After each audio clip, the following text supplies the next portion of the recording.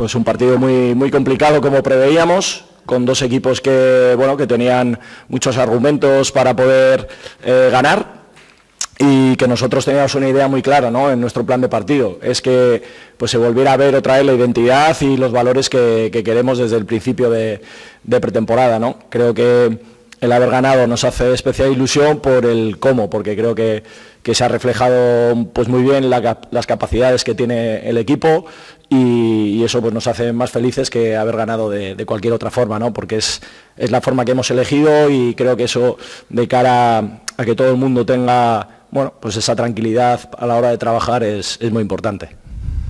Muy buenas, mister. Aquí Dani Vergara para Radio León. Te quería preguntar por el estado de algunos jugadores que han sido sustituidos, como Calderón, que ha sido cambiado en la primera parte, y Quique Fornos, que ha sido un cambio un poco antinatural. ¿Tienen algún problema físico o qué es lo que es, cuál es el estado de los jugadores? Sí, como bien dices, en el caso de, Calde eh, ha notado molestias otra vez en la zona de la lesión y bueno, y pues como habéis visto ha pedido el cambio, un cambio que ya nos ha condicionado un poco el discurrir del partido, sobre todo en la última parte, y el cambio de Quique, pues porque bueno, pues él viene arrastrando unas molestias y hemos eh, preferido eh, de alguna forma prevenir, hemos creído que era el momento, quitar a un central siempre tiene sus bueno, sus complicaciones y hemos preferido que, bueno, pues que tuviera cierto tiempo en este sentido a Leis, que ha sido el sustituto para poder adaptarse a, lo que se estaba viviendo, ¿no? porque era una situación complicada y en ese sentido pues hemos preferido hacer el cambio relativamente pronto para, para como te digo, que tuviera ese tiempo de,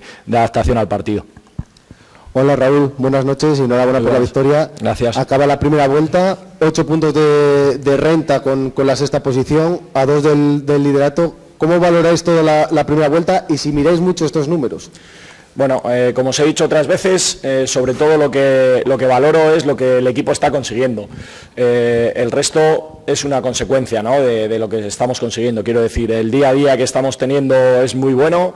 desde el minuto uno hemos intentado tener una identidad y ser un equipo reconocible que pudiera de alguna forma también enganchar a, nuestra afición y creo que ese es el mayor logro que, estamos consiguiendo. El resto de la clasificación pues es una, consecuencia de seguir o de estar haciendo las cosas bien y una vez que tenemos el camino claro pues ahora tenemos que, seguir, tenemos que seguir insistiendo porque estamos viendo jornada tras jornada que esto es muy complicado el mensaje que a mí me gustaría mandar a la afición es que, bueno, pues que se tienen que dar cuenta que, es un elemento fundamental el que, el que tenemos que tener y diferencial cuando jugamos en casa y que, bueno, pues que por parte del equipo este es lo que les vamos a ofrecer, ¿no? Un, equipo que en todo momento va a estar dando el, el, nivel, va a estar dando el callo y que nadie nos va a poder reprochar nada, ¿no? Más allá de que lo que estamos consiguiendo pues creo que hay que valorarlo en su justa medida porque, bueno, porque antes no lo teníamos. Otras temporadas no lo teníamos, ahora que lo tenemos vamos a valorarlo, vamos a apoyarlo, vamos a reforzarlo con la ayuda de, toda la gente que, estamos metidos en este barco y bueno, y a partir de ahí pues ser conscientes que, esto es muy largo, ¿no? que estamos haciendo muchas cosas bien, pero que esto es muy largo.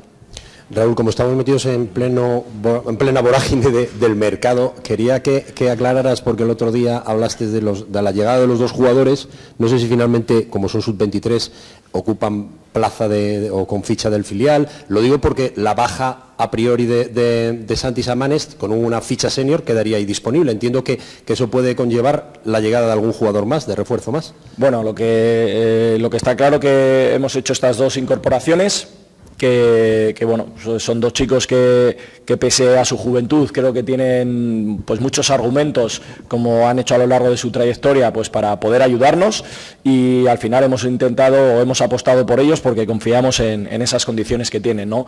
Eh, como bien dices, ahora hay que solucionar el tema de, el tema de si va a haber salidas que entiendo que, bueno, pues estamos trabajando en ello, sobre todo desde la dirección deportiva, desde el club, para que se puedan producir esas salidas y bueno, eso de todas formas no va a ser óbice para que, para que estos dos jugadores tengan su ficha, pues como el caso de Luis hoy y el caso de Fabio ya para la siguiente semana tenga su ficha y poder eh, aportar en, el partido si lo consideramos indispensable. Y a partir de ahí, que es un poco tu pregunta, ¿no? Me dices, bueno, y esa ficha senior, bueno, esa ficha senior pues va a depender de, muchos factores, no te voy a engañar. Si, como he dicho, estamos en el mercado y, bueno, y vemos que hay opciones interesantes que puedan reforzar a nuestro entender, no al de, al de la gente, eh, el equipo, pues es lo que vamos a hacer. Y si no, pues tiraremos con esto, con este equipo, con esta plantilla, vamos al fin del mundo seguro. Pero por completar, eh, ¿buscáis algo definido bien para la gente de ataque o algo que pueda resultar interesante para completar? Como bien dices, eh, algo que pueda estar interesante en el mercado, no para completar, sino para mejorar a nuestro, a nuestro entender, sobre todo en dirección deportiva y, bueno, y cuerpo técnico, eh, la plantilla, porque como he dicho otras veces, eh, yo estoy muy contento de, todos los mimbres que, el club me ha facilitado. Eh, entiendo que el club también está haciendo un esfuerzo a nivel económico, dirección deportiva con ese trabajo y bueno, pues yo en ese sentido estoy encantado porque valoro ese esfuerzo y bueno, creo que tenemos una oportunidad por delante y cuanto más completa sea nuestra plantilla, mucho mejor, pero insisto, no estamos cerrados a incorporaciones, pero tampoco buscamos nada en concreto en el, en el mercado. Eh, como antes comentaba Dani, se ha finalizado lo que es la primera vuelta. Eh, te quiero hablar de dos estadísticas. Una de ellas es la de eh, los ocho partidos seguidos ganados aquí en el Reino de León, 13 porterías a cero que se ha conseguido en esta, en esta primera vuelta. Más allá de lo que siente la plantilla, que por supuesto que estarán encantadísimos, ¿cómo es para un entrenador, para ti personalmente, haber dado con una tecla que hacía años, bastantes años, que no se daba aquí en la cultural?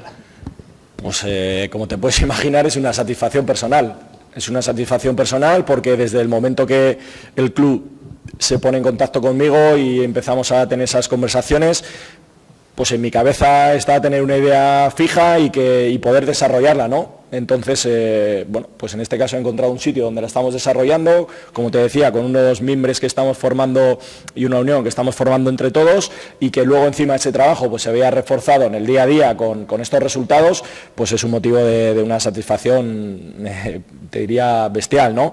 Pero también soy consciente que, bueno, que esto hay que seguir manteniéndolo, que tenemos que seguir haciendo las cosas bien, porque a día de hoy lo único que hemos hecho es una muy buena primera vuelta y como te decía antes, pues transmitir un mensaje también de, bueno, de optimismo, pero también de prudencia. Nos quedan cinco, cinco meses prácticamente, o cuatro meses y pico, eh, toda la segunda vuelta por delante.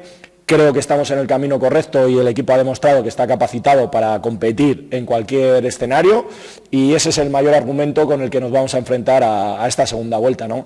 Eh, porterías a cero, habla muy bien del trabajo defensivo de los jugadores, del sacrificio, como hemos visto hoy que ha habido que, bueno, pues que trabajar mucho en defensa ante un equipo que, aunque solo sea por la calidad que tenían, ya tenía ese peligro.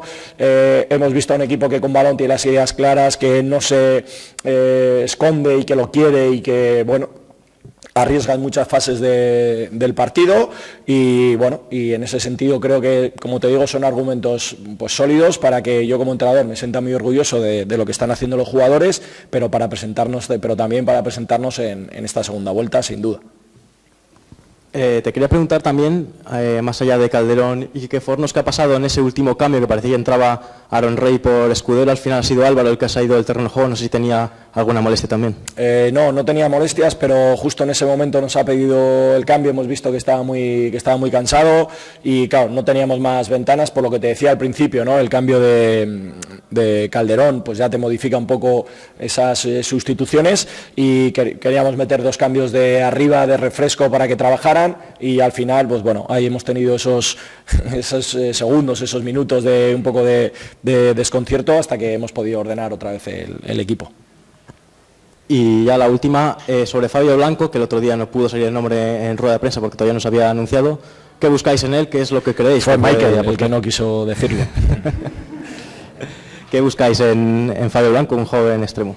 No, pues un poco lo mismo que, Luis. Eh, son dos chicos de, extremos, de jugar en banda, con perfiles diferentes. En el caso de Luis es un extremo izquierda, pues eso que es muy potente, que va bien al espacio, que nos va a dar profundidad y que tiene mucho manejo para, jugar en, esas posiciones de, banda. Y en el caso de Fabio, pues bueno, es un chico que solo hay que ver la trayectoria que lleva, eh, con mucho desborde, con mucha verticalidad. Es un jugador que en el duelo pues es, es diferencial y sobre todo esa frescura que también da la, edad.